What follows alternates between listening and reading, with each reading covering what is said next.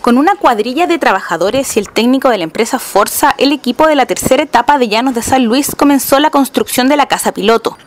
El proyecto contará con la edificación de 120 departamentos en tres modelos y 26 viviendas de 73,98 metros cuadrados, las cuales por primera vez en la historia de Empresa Serena serán construidas con un sistema diferente al usado en sus 29 años.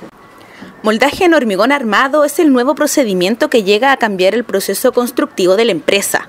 Este se caracteriza por su rapidez, por mejorar la eficiencia energética de la casa y por estar lista en menos pasos que la albañilería de ladrillo. Una vez hecho el radier, se instalan las armaduras de muro, ¿cierto?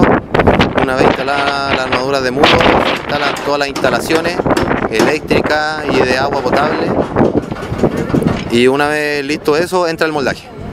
La meta de la empresa y el equipo de Llanos de San Luis en su tercera etapa es la construcción de un piso diario y para eso se encuentra en Chile uno de los técnicos de Forza que capacitó a los trabajadores de la empresa y se encuentra armando los moldajes junto a la cuadrilla. Eh, cada día uno conoce más personas y, y pues ellos son nuevos en, el, en, este tema y me ha ido muy bien con ellos. Eh, han entendido muy bien el, cómo, cómo, trabajamos, cómo trabajamos nosotros como Forza y hasta ahora todo va muy bien. Estoy ilustrando a los muchachos, enseñándole cómo se maneja nuestro sistema para que ellos conozcan nuestro sistema que es muy fácil y, y práctico.